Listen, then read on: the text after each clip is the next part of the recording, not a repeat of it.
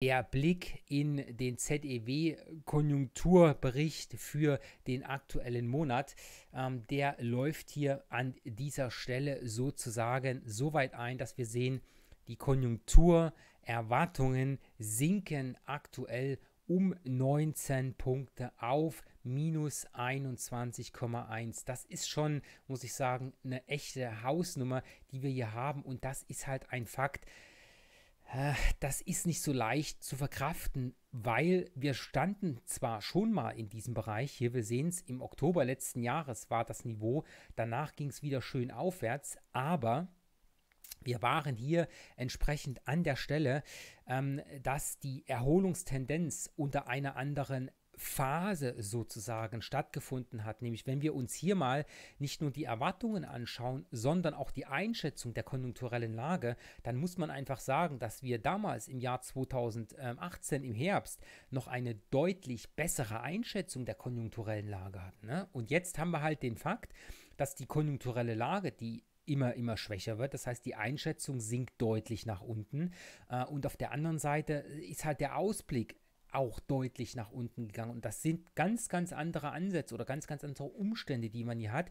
Deswegen ist das Bild nicht das gleiche, wie wir im Oktober letzten Jahres gehabt haben, ähm, wo wir dann doch eher positive Dinge ähm, auch mit sehen konnten und die Indizes sich dann auch irgendwann nach oben geschoben hatten. Nein, wir haben jetzt hier aktuell einen Lageindikator, der ist zwar zum Vormonat kaum verändert, das ist nur marginal hier, ähm, der ist bei 7,8 Punkten, das heißt, es sind 0,4 Punkte äh, weniger als im letzten Monat, aber in gesamter Summe, also Konjunkturerwartungen und der Lageindikator, dieses Bild ist schon ein ganz, ganz anderes als das, was wir entsprechend ähm, im vergangenen Herbst gesehen haben und aus dieser Grund Grundlage sehen wir auch gleich ganz, ganz andere, äh, sage ich mal, Beweggründe. Das heißt, die Lage an sich ist deutlich schlechter als im letzten Herbst. Ja? Und das ist einfach begründet, äh, dass wir einen sehr, sehr starken Erwartungsrückgang haben und der basiert auf Nummer eins einer hohen Unsicherheit, was das Thema der weltwirtschaftlichen Entwicklung angeht. Ne? Wir sind ein exportorientiertes Land und wenn die Weltwirtschaft schlechter läuft, dann haben wir direkt auch das Ganze hier in der exportorientierten oder in den exportorientierten Branchen im Niederschlag, dass dort einfach weniger Aufträge reinkommen und das merkt man dann auch. Die Unternehmen investieren weniger, die stellen bestimmte Sachen zurück.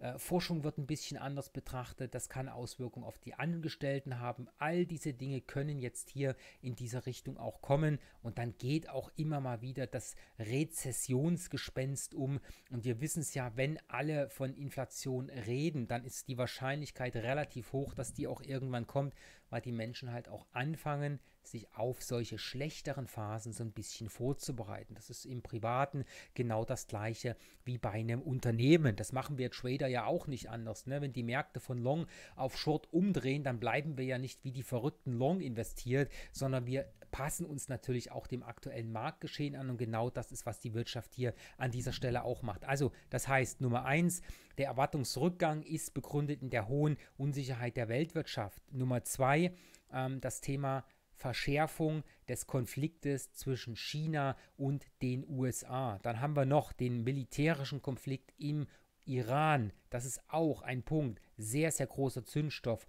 Und was kommt jetzt noch im Herbst? Das Thema Brexit kommt wieder auf die Uhr. Das werden wir nachher auch noch in weiteren Dingen hören. Das Problem ist einfach, dass kein Mensch weiß, wie das Ding nur am Ende ausgeht. Ja? Es kann dazu sein, dass das Teil komplett abgesagt wird, bis hin zum harten Brexit ohne irgendeinen Deal.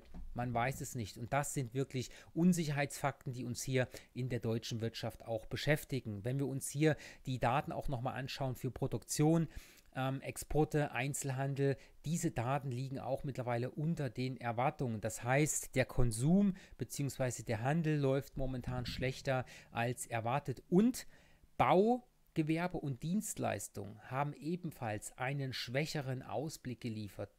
Das muss man einfach akzeptieren. Und da merkt man halt auch, wie dieser Erwartungsrückgang, dieser starke Schub nach unten zustande gekommen ist. Blicken wir mal weiter hier. Der ganze Bericht äh, für Deutschland gibt ja auch noch Fakten, die Deutschland mit betreffen. Das heißt hier Europa, Großbritannien, Japan, das sind immer Dinge, die mit da sind. Und wenn wir uns das Ganze mal mit Blick auf Europa anschauen, dann sagt die Grafik hier an dieser Stelle schon einiges. Wir haben einen Einbruch der Konjunkturerwartungen. Wir sehen es hier in der Grafik, die konjunkturelle Lage ähm, ist weiterhin im Minusbereich und die Erwartungen, wir sehen sie gehen doch deutlich stark nach unten. Das heißt an dieser Stelle, der Indikator ähm, für die Konjunkturerwartungen bricht um 18,6 Punkte ein auf minus 20,2. Also das sind schon ziemlich starke Ausmaße. Das ist auch der stärkste Rückgang seit Juli 2016. Da gab es das Brexit-Referendum, was alle überrascht hat, dass halt das Votum für den Austritt aus der Eurozone gelesen wurde. Das heißt hier an dieser Sicht wenn man die Experten auch befragt, im, mit Blick auf Europa, da verlieren die Experten momentan so ein bisschen die Zuversicht, dass sich alles doch zum Guten ähm, wendet. Das heißt hier, es ist einfach problematisch, weil wir keine Einigung im Handelskonflikt zwischen China und den USA haben. Der Brexit ist völlig offen. Wir haben eine Eskalation auch in der Eurozone, die hier belastet mit dem Thema Iran-Konflikt. Und dann haben wir hier das, was auch noch gelesen wird, eine mögliche bevorstehende Abwertung des US-Dollar gegenüber dem Euro. Und wenn der US-Dollar gegenüber dem Euro schwächer wird, steigt der Euro ja wiederum. Und das ist ein Belastungsfaktor für die Exporte, weil dann wird das Ganze teurer, ohne dass sich am Preis etwas ändert. Schauen wir uns das Ganze mal in den USA an. Hier die Konjunkturerwartungen aus unserer Lesweise hier werden wieder etwas schwächer erwartet. Das sehen wir hier an dieser Stelle. Das äh, sind wir hier im Rückgang. Das heißt, hier ist der Rückgang schön auch zu sehen. Das heißt, die Erwartungen gehen weiter nach unten. Der Erwartungsindikator fällt um 12,3 äh, Punkte auf 35,9. Das sieht man hier im Graph sehr, sehr schön. Der Lageindikator ist ebenfalls deutlich gesunken. Hier im Vormonat stand er ähm, deutlich höher, jetzt 16,5 Punkte tiefer bei 46,5. Da merkt man hier auch, dass dort in den USA nicht mehr alles so positiv erwartet wird. Schauen wir uns mal noch an, was hier wichtig ist. Thema Handelsstreit China-USA lesen wir wieder. Wir sehen, das ist ein allumfassendes Thema. Wir haben auch hier ein hohes Konfliktpotenzial USA, Iran äh, und äh, die Mehrheit erwartet hier eine Zinswende in den USA. Das heißt, hier an dieser Stelle wird das auch Einflüsse auf den Euro, US-Dollar haben. Und hier noch der Blick nach Japan. Japan ist ja auch eine Volkswirtschaft, die sehr exportorientiert ist und die hat halt auch immer dann Probleme, äh, wenn wir sozusagen schlechte Konjunktur- bzw. Wirtschaftsbedingungen haben. Japan äh, hat einen starken Handelspartner mit China und wenn es in China nicht rund läuft, merkt Japan das definitiv. Das heißt, hier an dieser Stelle die Konjunkturerwartungen sind zum zweiten Mal in Folge rückläufig. Wir haben hier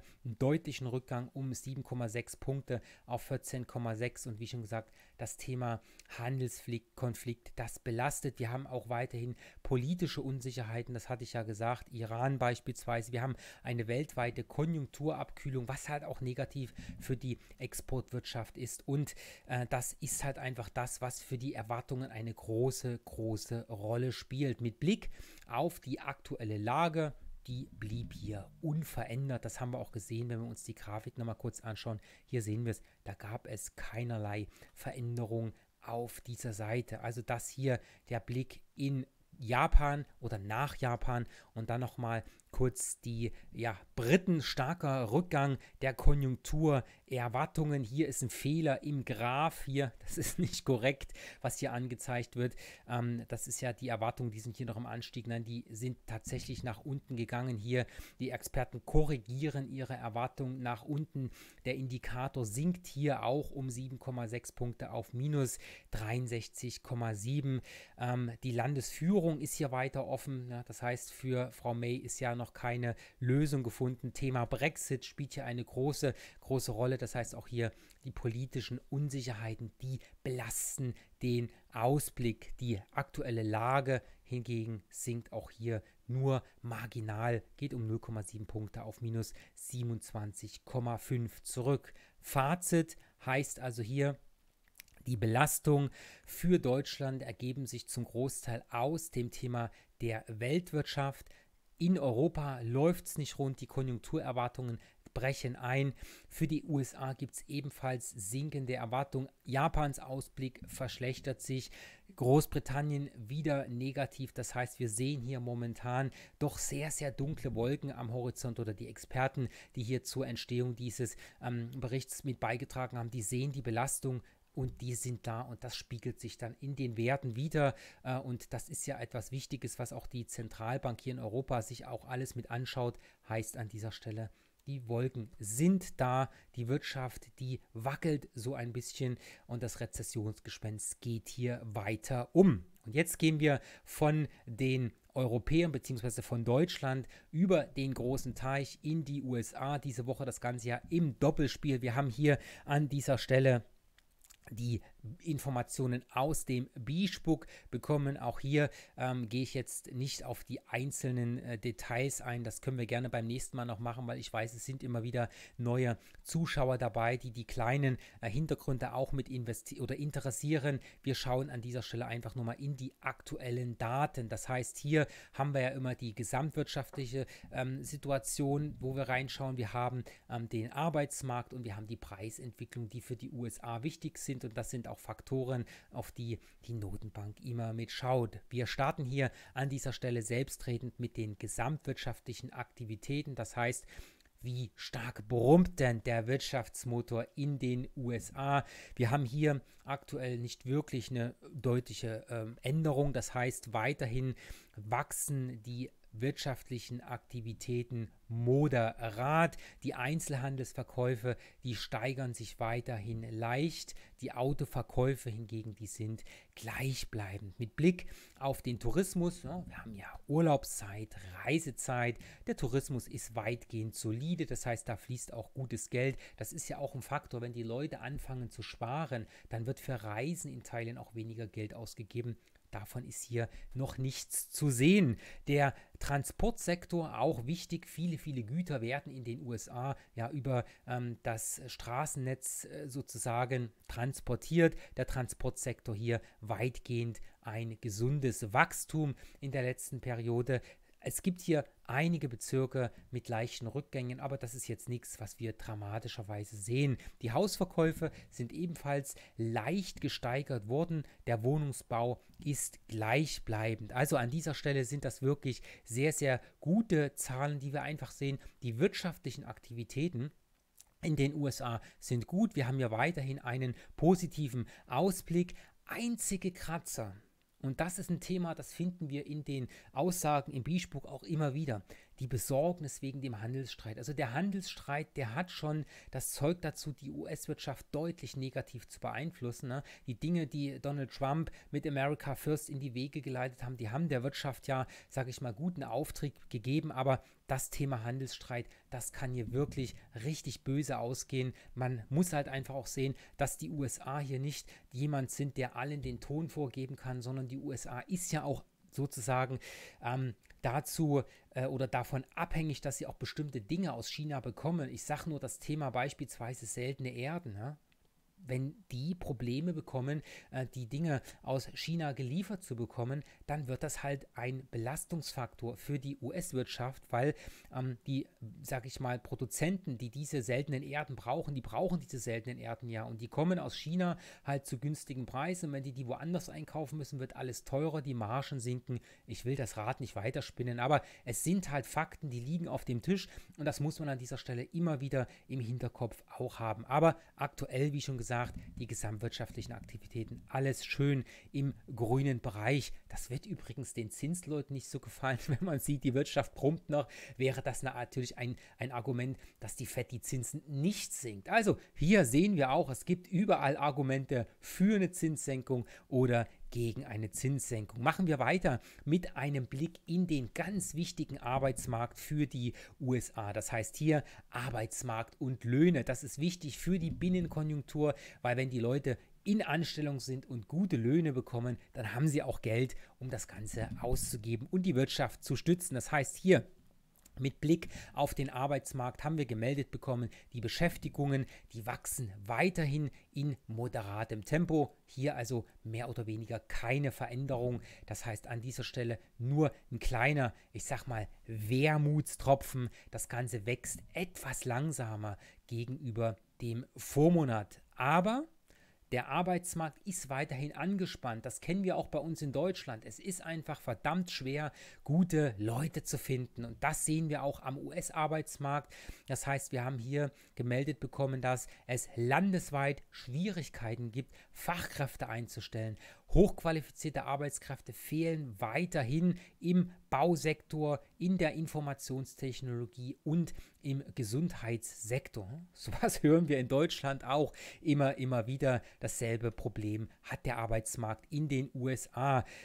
Mittlerweile ist es allerdings auch so, dass ähm, teilweise die teilweise Sorge oder die Visa-Verlängerungen, ja, das ist ja ein Thema, wenn jetzt jemand in den USA einer Firma arbeitet, der ein Visum braucht, um in den USA zu bleiben, wenn es hier Probleme gibt, die Visa zu verlängern, stört das Ganze natürlich auch das Wachstum im Arbeitsmarkt. Lohnsteigerungen gibt es auch, wie bisher. Was zu sehen ist, dass die Einstiegsgehälter gesteigert worden sind. Das ist etwas, das hier das erste Mal genannt worden ist. Das heißt, das ist dann anscheinend auch etwas, was die Qualität am Arbeitsmarkt auch verbessert. Was man auch gelesen hat in den Nebensätzen, dass beispielsweise solche Bonuspakete mit zusätzlichen Leistungen der Arbeitgeber für ihre Angestellten, dass diese Dinge auch ausgeweitet werden, um einfach die Jobs interessanter zu machen und das nicht nur auf den klassischen Lohn zu beschränken, sondern dass die Angestellten dann auch noch zusätzliche Dinge ähm, bekommen, um hier den Arbeitgeber auch die Stange zu halten. Also das heißt, mit Blick auf den Arbeitsmarkt, der ist weiterhin sehr, sehr solide. Und das sind halt auch Dinge, egal ob in den USA oder jetzt bei uns in Deutschland, selbst wenn es hier zu einem Einbruch in der Wirtschaft kommen sollte, der Arbeitsmarkt wird wahrscheinlich nicht gleich so stark fallen, dass wir hier 10 oder 15 Prozent Arbeitslosenquote haben. Dazu ist der Arbeitsmarkt aktuell in einer zu starken Verfassung an dieser Stelle. Schauen wir noch auf die Preisentwicklung. In den USA ist ja ein Faktor, den die Zentralbank auch immer sehr, sehr schön anschaut wegen der Inflationsentwicklung. Hier heißt es also, dass die Preisinflation gegenüber dem Vormonat zumeist stabil geblieben ist, in Teilen auch leicht rückläufig. Die Einkaufspreise allerdings, die steigen teilweise und wenn diese Preissteigerungen nicht weitergegeben werden können, dann knabbert das immer so ein bisschen an der Marge der Unter Unternehmen. Das heißt, die Einkaufspreise sind da, höhere Zölle, höhere Arbeitskosten führen dazu allerdings der hohe Wettbewerb reduziert die Weitergabe an die Endkunden. Das muss man sehen, wie sich das Ganze hier entwickelt. Frachtpreise und Agrargüter haben wir da. Agrargüter, die sind etwas teurer geworden. Wir haben hier ein reduziertes Angebot. Das ist teilweise auch durch die Wetterkapriolen in Amerika ähm, mit da. Was die Frachtpreise angeht, haben wir eine gemischte ähm, Entwicklung. Unternehmensdienstleistungen werden momentan wieder etwas günstiger. Stahl- und Schnittholzpreise sind gesunken. Und das ist ein Punkt, da muss man so ein bisschen mal den Finger heben und sagen, hopp, was ist denn da passiert? Stahl- und Schnittholzpreise, man braucht das ja zur Produktion, hier beispielsweise auch im, im Immobilienbau niedrigere Nachfrage, wenn dort weniger nachgefragt wird, hat das eventuell irgendwann auch Auswirkungen auf den Immobiliensektor. Hier auf das Baugewerbe muss man etwas beachten oder beobachten. Es ist auf alle Fälle ein Faktor, der hier da ist mit Blick auf die USA. Das hier die kurze Zusammenfassung über das Bischbuck aus den USA und den ZEW. Bericht vom laufenden Monat. Dann an dieser Stelle hier die wichtigsten Fakten einmal mal für Sie aus fundamentaler Sicht, damit das Ganze einordnbar ist. Damit das Thema für heute können wir die Bücher hier zumachen. Ich wünsche allen einen schönen Start ins Wochenende. Danke für die Zeit, auch hier wieder gemeinsam. Und am Montag geht es dann weiter um 8.30 Uhr mit den nächsten Handelsideen hier bei Tickmill. Äh, wer das Video hier sieht und die vorhergehenden Videos noch nicht gesehen hat, zeige ich noch mal ganz kurz, wie das Ganze gefunden werden kann. Heißt also, wir schauen mal zusammen auf die Website von Tickmill an dieser Stelle nochmal. Hier finden Sie auch alle Informationen zum Brokerage bei Tickmill. Das heißt, einfach mal auf die Website von Tickmill draufschauen. Wirklich gute Spreads, Top-Preise, hohe Liquidität an dieser Stelle. Eine sehr, sehr schöne Handelsplattform mit dem Stereo-Trader. Und Sie sehen halt hier den Blog jeden Morgen, wenn wir hier mal einfach auf den Blog draufgehen, da gibt es die Handelsideen. Hier schreibe ich jeden Morgen auch nochmal für Sie in Worten auf, was ich im Video auch erzähle. Und das Ganze kann man auch buchen. Das heißt, für diejenigen, die das Ganze mal anschauen wollen und nicht über Facebook hier dabei sind, hier einfach mal auf den Ausbildungsteil klicken, in die Webinare reingehen und da haben wir halt hier an dieser Stelle zum einen die täglich neuen Handelsideen. Ein Klick hier drauf an dieser Stelle und dann registrieren und schwuppsdiwupp ist man dabei. Ansonsten, was gibt es noch? Wir haben hier einen tollen Special Event zusammen mit dem Dirk Hilker vom Stereo Trader und dem Orkan Kujas. Da haben wir jetzt nämlich ein Paket mit dem Trading-Stil vom Orkan Kujas im Bereich des Volumens. Das Ganze bitte auch anmelden hier, ähm, Plätze reservieren. Das Ganze ist wie immer auch begrenzt. Das heißt, ähm, wer schnell ist, ist auch auf alle Fälle mit dabei. Das Ganze auch kostenfrei hier noch ein Stück weit hin, aber Sie sehen es halt, wenn Sie auf unsere Website hier klicken. Da können Sie sich sich registrieren. Also an dieser Stelle danke für die Zeit, ein schönes Wochenende und bis nächste Woche. Tschüss.